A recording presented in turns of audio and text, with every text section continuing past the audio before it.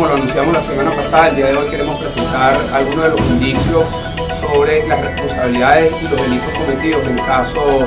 eh, que tiene que ver con la descomposición, la putrefacción de la comida de Pedeval. Yo creo que este es un caso en donde se parten las aguas definitivamente. Aquí eh, nosotros vamos a ver la respuesta de los poderes públicos. Si nosotros vemos una respuesta de los poderes públicos, de la Fiscalía, de la Contraloría y de la propia Asamblea Nacional y Morata con este caso, significa que son cómplices de la corrupción. Ahí no hay otra. Eh, la Fiscalía, la Defensoría, eh, la Contraloría y la Asamblea dándole la espalda a llegar hasta el fondo de este asunto, sería muy claro que estarían siendo cómplices de hechos concretos de corrupción.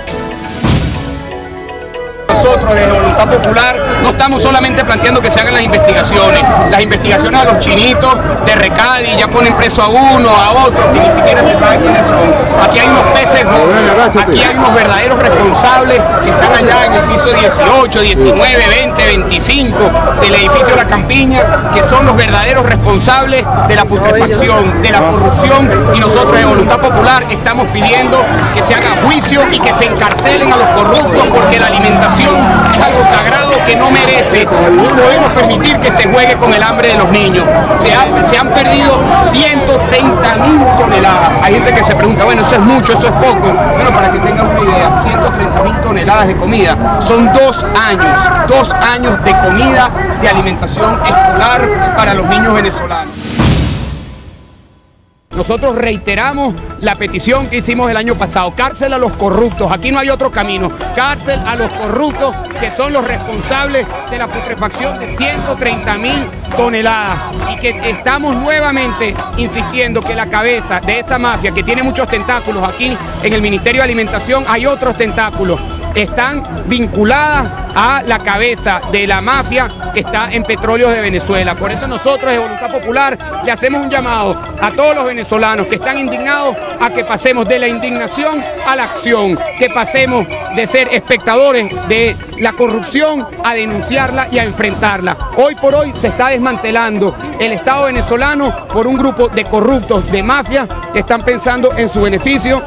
y no están pensando y no están trabajando por los beneficios de los venezolanos. Por eso nosotros de Voluntad Popular no nos vamos a cansar de protestar. Seguiremos haciendo nuestro trabajo social, seguiremos impulsando el liderazgo en las comunidades, seguiremos trabajando con los consejos comunales, seguiremos impulsando a líderes deportivos, culturales, pero no nos vamos a desviar de lo que significa el verdadero problema que hoy está minando a todo el Estado venezolano, desde el policía corrupto hasta el delincuente de cuello blanco que está en el Ministerio de Alimentación, el delincuente de cuello blanco que está en Pedeval, el delincuente de cuello blanco que está en Petróleos de Venezuela. Por eso insistimos en nuestra solicitud a que se sumen los venezolanos a pedir cárcel a los corruptos que son los responsables de lo que está ocurriendo en este momento en Venezuela con la comida.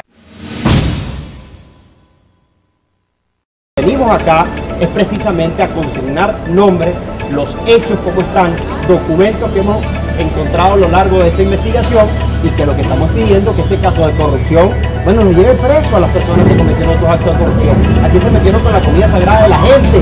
Cuando la gente no encuentra comida ni el Pedeval es porque estaban en los containers podridos y eso afecta, repito, al pueblo. Entonces, el mensaje que estamos mandando a fiscal ya no tiene excusa. Aquí están los nombres, aquí están los hechos. ¿Qué va a esperar? ¿O hay intocable?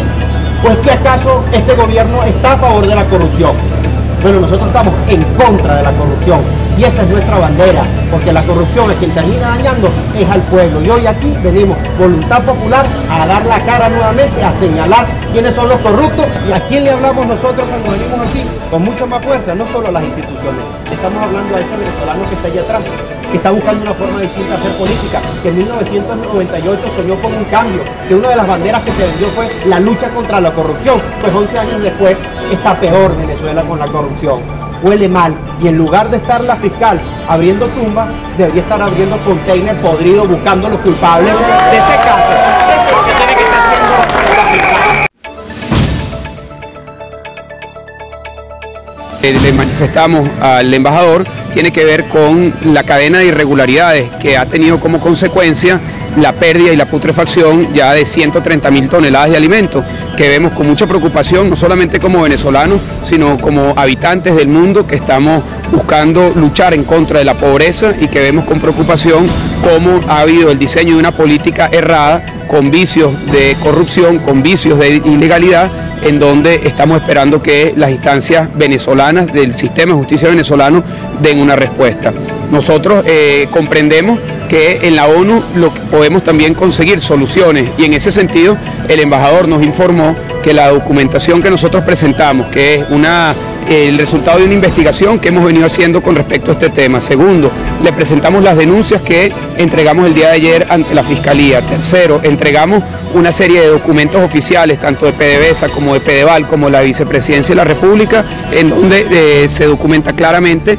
lo que es el diseño de la política alimentaria, nuevamente desde nuestro punto de vista equivocada. Eh, esta documentación, el embajador nos informó que va a ser consignada ante la FAO, que es el brazo de la ONU encargado de manejar todo el tema de seguridad alimentaria. Se le va a entregar también al secretario general de la Asamblea General de la ONU y finalmente a la WTO, que es la instancia de la ONU encargada del comercio internacional, con la finalidad, primero, de presentar las posibles eh, pérdidas de ineficiencia y de, de seguridad y, soberanía alimentaria y segundo, en búsqueda de soluciones. Nosotros también le solicitamos al embajador que ofrezca formalmente ante el Estado venezolano la posibilidad de apoyar técnicamente al Estado venezolano en dos distintos niveles en la búsqueda de soluciones para el problema de la soberanía y la, soberanía y la seguridad alimentaria.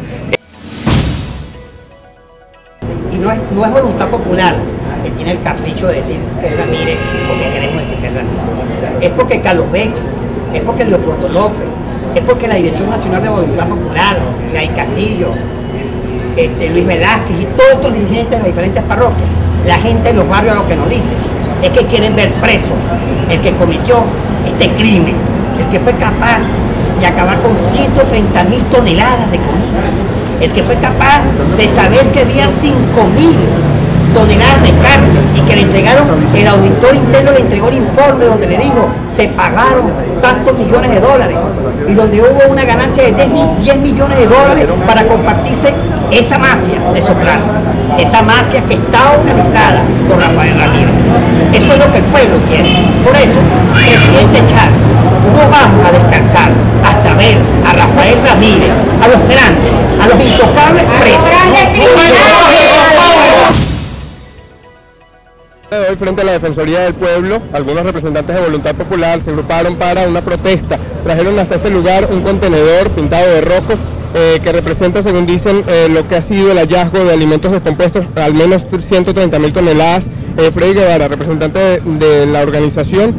un poco cuál es la exigencia que le hacen a la Defensoría del Pueblo toda vez que han acudido a distintas instancias y no se da una respuesta. Es realmente lamentable cómo la Defensoría del Pueblo no solamente nunca se ha pronunciado por el tema de la inseguridad, sino que a su vez la Defensoría del Pueblo no ha emitido un solo pronunciamiento a favor de los derechos de los venezolanos que tiene que ver con la alimentación. Esto es un cointerne que estamos diciendo, bueno, mira, si usted no lo ha visto en las noticias, no lo has visto en los medios de comunicación, no has visto en la queja de la gente que está pasando hambre los alimentos podridos en uno de los lugares que se encuentra Venezuela, bueno, le venimos a traer una muestra justo al frente de su oficina. Cuando se asome en el balcón de su oficina puede ver que 5.000 de estos contenedores son los que están estado llenos de comida podrida, producto de la corrupción de Rafael Ramírez, de la conchupancia del gobierno cubano como con la ministra Bárbara Castillo, que ha estado comprando alimentos vencidos y perdiendo miles y millones de toneladas eh, que perjuicio del, pueblo venezolano. Ayer hablaba en nombre del Ejecutivo el vicepresidente de la República, él decía ya se han ubicado los puntos eh, neurálgicos y se van a tomar decisiones. ¿Esto eh, no es suficiente en este caso, esta respuesta del Ejecutivo? Mira, el problema es que ellos están queriendo meter preso a los porteros de Pedeval y al portero de PDVSA. El problema es meter preso al chofer, al portero de PDVSA al que recoge la basura. Aquí hay que tener que investigar es quién es el que autoriza esa compra, quién es el que realmente sabía los megallitos que estaban en eso. Y la responsabilidad la tiene Rafael Ramírez y Bárbara Castillo, una funcionaria cubana que está en los documentos de gobierno, que no son inventados por nosotros, que han salido a la luz pública y que todavía no se sabe qué está pasando. Entonces, ¿cómo es eso? Y que soberanía nacional, cuando tienes una persona de otro país es la que controla de alguna forma cuántos alimentos se les compran a los venezolanos con los dineros de los venezolanos y que a la vez tienes un ministro que ya confesó que el 85% de los alimentos que se compran en Venezuela son importados, que soberanía alimentaria estamos hablando cuando se pierde y se le deja en manos de corruptos, porque son corruptos, delincuentes comunes que a través del dinero venezolano hacen fortunas personales. Eso que está ahí no fue un descuido, un descuido, bueno, que es un container, dos capaz. Ahora, 5.000 containers es una conspiración, es un delito, es toda una organización criminal que se montó para montar un megallizo como una mafia, como Don Corleone, como el Padrino. Bueno, eso es lo que está montado ahorita el gobierno nacional y es lo que tenemos que rechazar y combatir. Eso no puede ser tolerado por el pueblo venezolano y tenemos que apostar por un cambio verdadero, que realmente reivindique los valores del pueblo venezolano de un sentido patrio que no permita y que le diga la cara a un presidente de la República que se llena todos los días la boca de ser patriota, bueno, que esto es lo más antipatriota del mundo, que permitir que 5.000 containers queden podridos y que más de, bueno, miles de familias venezolanas, millones de niños pasen hambre, precisamente porque esta comida no llegó a su destino, porque alguien se ocupó de un megaguiso y está siendo ahora pasado hacia la categoría de burgués que no haga responsable al respecto. No queremos presos de los porteros, ni el chofer, ni el que recoge la basura en PDVSA. Queremos a Rafael Ramírez, a los pesos gordos, que respondan ante la justicia y así como que se nos diga por qué Bárbara Castillo, una funcionaria cubana, es la que estuvo encargada de lo que era la compra de los alimentos de todos los venezolanos.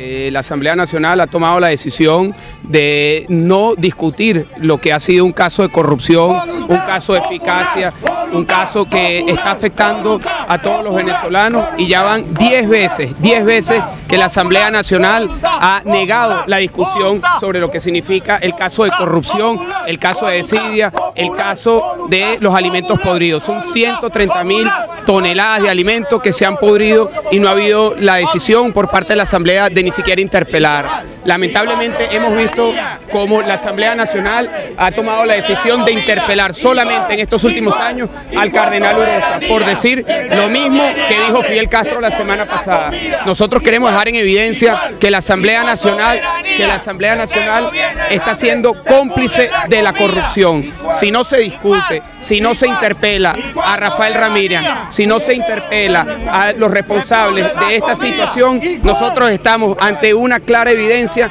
de complicidad de la Asamblea Nacional con la corrupción. Hoy se va de vacaciones la Asamblea Nacional y dejan en el tintero lo que es la interpelación, lo que es la apertura del caso de corrupción más grande que hemos visto los venezolanos durante los últimos años. Por eso hoy estamos frente a la Asamblea Nacional dejándole unas bolsas de basura, unas bolsas que son simbólicas de lo que es la comida podrida y de lo que significa la corrupción que hoy está afectando a los venezolanos y que esta Asamblea Nacional ante los eh, ojos de todos los venezolanos está siendo cómplice, claramente cómplice de los peces gordos que son responsables de la corrupción que ha afectado a millones de venezolanos.